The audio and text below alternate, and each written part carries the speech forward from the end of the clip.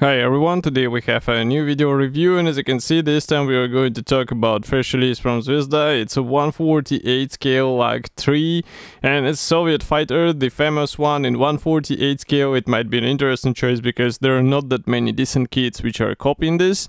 And here we have a new tooled plastic so it will be quite uh, I would say a review to check what is actually changed here, what is new and why this plastic is better than all of the available on the market market. What we have here on the table, it's the final shape of this release. The kit number is 4833 and you should be able to get it in all good model shops and I would like to say thank you for helping me to get this one. So first of all, as you can see, the box art is really nice. We have here uh, the uh, aircraft flying through the German bombers and the box size I would say it's standard for such release. Here you can see comparison with my hand. It's uh, similar to I-16 which I reviewed also recently. Here you can also see the decals map and paints chart and we also have the information about the model. So there are 163 parts and the length of the model will be 18 centimeters, 18.4. We also have a small ad for the Pe-2 from the same brand and I think I reviewed it in a limited edition, but it's still something also worth checking. And here on the opposite side, you can see three other kits in the same scale. Some of them were reviewed by me as well, so it's worth taking a look. And here you can also see the information about the model again, and also pictures of the finished kit. Here you can see also the bottom view, and also some parts without the paintwork, which is also quite cool. As usual, it is sealed with the tape, as you can see here. So I'm going going to cut through it and we will take a closer look at the parts which are actually included here. So this release is one of the I would say biggest announcements from this brand in 2024 because it's as I said new tooled and that's why we should be able to get the modern tech here I would say and I-16 was a really good example of it because the parts just looked completely different from what we are uh, usually expecting from Zvezda. And I would say it shows that they are growing in this sense and the overall engineering and the design of the kit was quite nice to see in person, especially in this scale.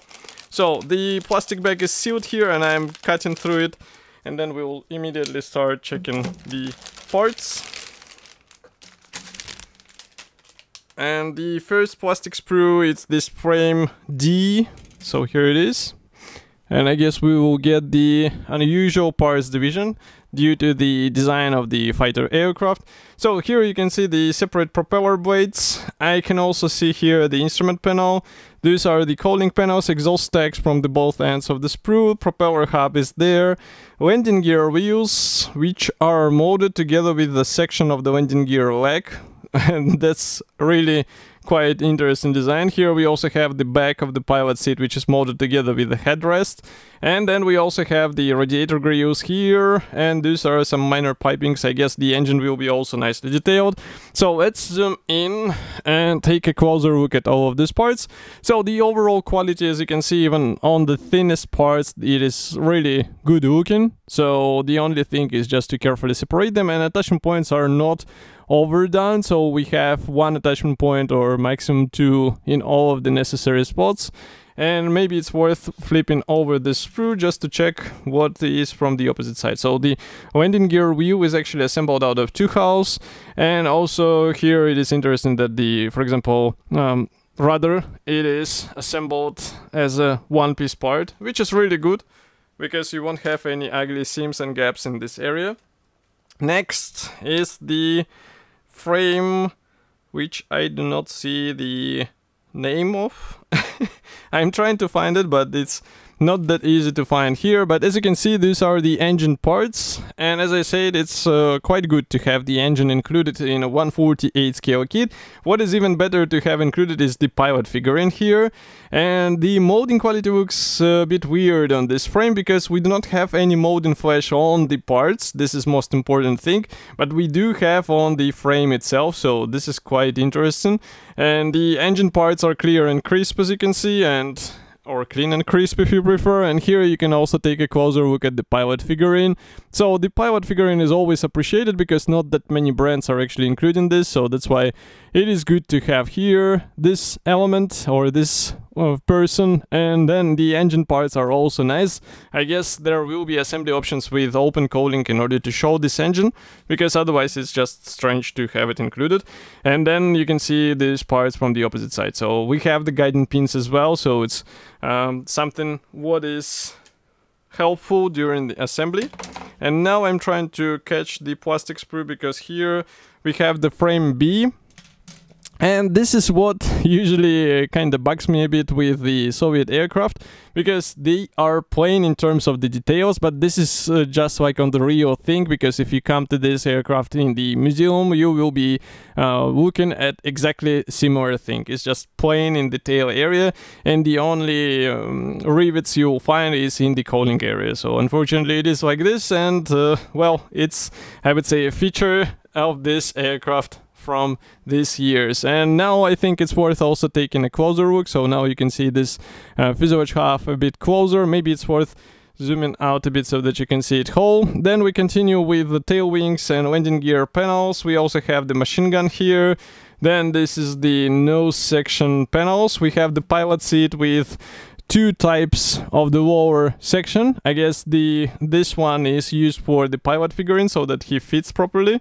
And then we continue with another uh, fuselage half. Let's flip it over because inside, as you can see, we have the guiding pins and also some minor interior features. So these cockpit walls are looking good. And of course, it's uh, worth adding some uh, weathering here because it's a 148 scale aircraft, so it will be visible even if you have a closed canopy.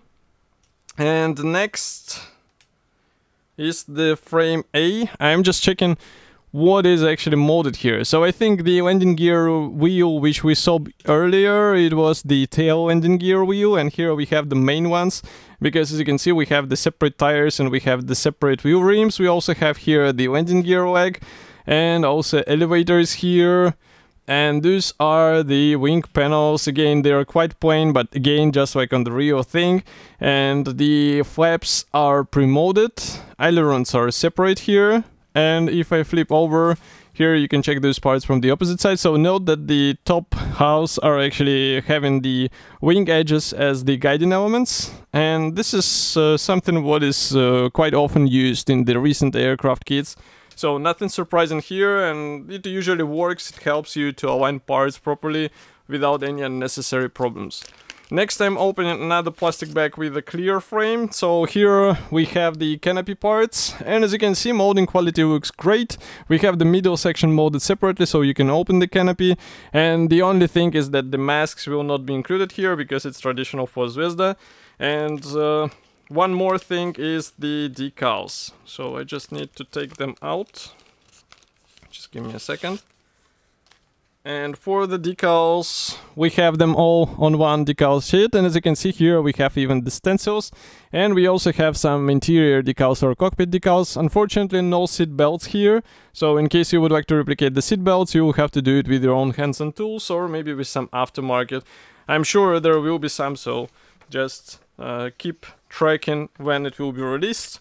Then we continue with, uh, well, first maybe I will show you the marking guide, not the assembly manual, because marking guide is printed in color. Here we have the first and the second marking option, and here you can see also the third, fourth, and the fifth marking option. So five markings in one box, this is quite good. And next we continue with assembly manual. So this one is black and white, and I mean, it is acceptable here because the marking guide is printed in color so I guess it is fine. And as you can see here we have the short history note and also assembly options so you can also assemble the aircraft in flight on the special model stand and model stand is not included so remember this next we continue here with the parts map and assembly process starts with an engine so as I said the engine is very detailed here so that's why it's worth uh, deciding whether you would like to depict it or not. But as you saw, it will be shown only by removing the top cooling section.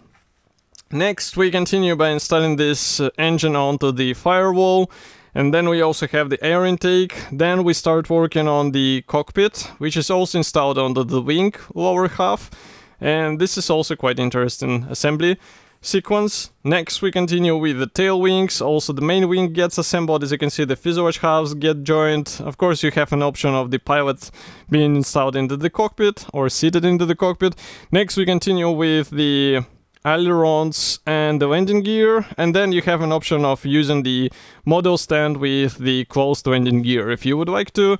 Here you can see also another option with the open cowling as I was saying and one more option is to open the canopy. So quite a lot of uh, assembly options and here we have the stenciling guide. So overall, I would say it's a decent offering of this uh, quite famous aircraft, and five markings in one box is also good. So if you would like to have your copy, then definitely check it out. And price is quite reasonable. You can get it even for 20 euros. So it's uh, a lot of stuff for this price, I would say. And of course, I will be happy to hear your opinion. So do not forget to write it here in the comment section below. And I will see you in the next video review as usual. Thank you for joining me today, and bye.